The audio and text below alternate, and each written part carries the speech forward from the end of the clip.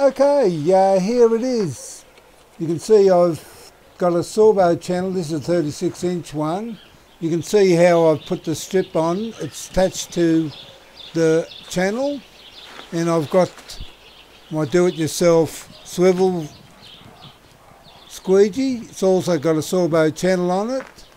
As you can see it's all attached to the channel and uh, when I get a chance I'll uh, give you a couple of demos how they work on big glass. I think you'll uh, be surprised. And well, I suppose that's about it.